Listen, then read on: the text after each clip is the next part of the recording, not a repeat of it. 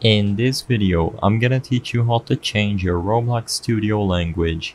It's a very quick and easy process, so make sure to follow along.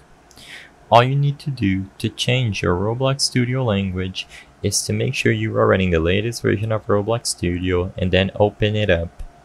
In the My Games window, select any game because we only need to access the studio settings.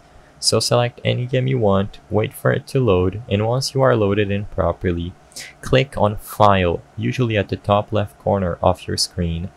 From the drop-down menu, we need to access the studio settings, so not the game settings, but the studio settings. You will be redirected to this small window where you can find a lot of options about the studio editor. I recommend making this window bigger this way, it will make it much easier to search for language. As you can see, on the Studio tab, you will have Camera, Directories, and General, and within General, you can already see the language option.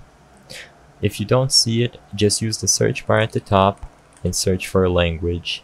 Now, just change it from system default, which means your the device you are running it on, to whatever language you want. After you make the change and close this, it might reset itself to apply the changes as you can see here. Once you restart Roblox Studio, your new language will be applied. I hope I was able to help you on how to change Roblox Studio language.